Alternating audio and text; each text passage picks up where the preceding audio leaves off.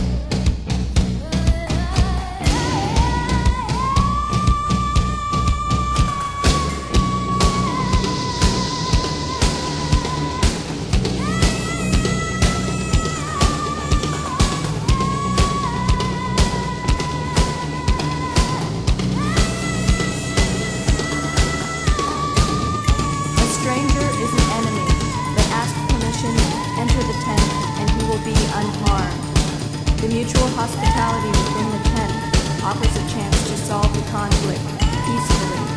It is an act of guaranteed immunity. If the conflict remains, once outside, he may.